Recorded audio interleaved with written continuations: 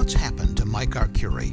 His handlers told him to attack Ray Meier over a pay raise in the state senate, but Ray Meier voted against that pay raise. What's worse, when it passed over Meier's objection, Mike Arcuri received a pay raise too, thanks to that very bill. And Arcuri not only accepted the raise, he bragged about it. Meier opposed the raise, Arcuri accepted it.